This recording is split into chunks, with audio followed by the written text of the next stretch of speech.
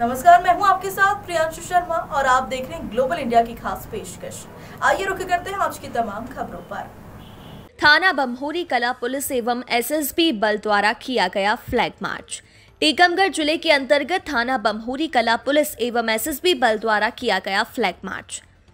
लोकसभा चुनाव 2024 आचार संहिता के तहत टीकमगढ़ ज़िले में शांतिपूर्ण मतदान कराने हेतु एवं आगामी त्योहारों को दृष्टिगत रखते हुए पुलिस अधीक्षक टीकमगढ़ रोहित काशवानी के निर्देशन में एवं अतिरिक्त पुलिस अधीक्षक सीताराम, एसडीओपी ज्वतारा अभिषेक गौतम के मार्गदर्शन में थाना बम्हूरी कला अंतर्गत ग्राम टीला नरीनी।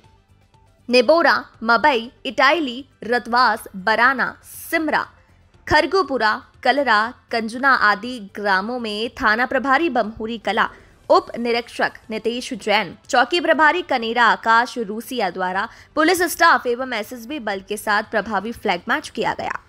बाइट उप निरीक्षक Nitesh Jain global India TV news जिला ब्यूरो हरिशंकर जोड़िया की रिपोर्ट। लोकसभा चुनाव के मद्देनज़र शासन द्वारा आदेशित किया गया है कि सभी ग्रामों में लोगों को सुरक्षा की दृष्टि से और उनके अंदर सुरक्षा की भावना जगाने के लिए पुलिस सम्मिलित रूप से सभी विभागों को साथ लेकर एक मार्च करें। जिससे लोगों में सुरक्षा की भावना जगी।